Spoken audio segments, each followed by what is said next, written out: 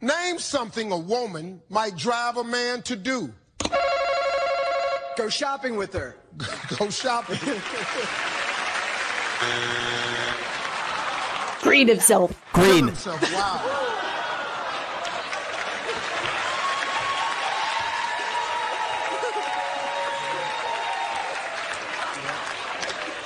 Might not be up there, but I damn sure thought it a couple times. Yeah, my ex-wife, yes sirree. Thought about killing Greening. myself.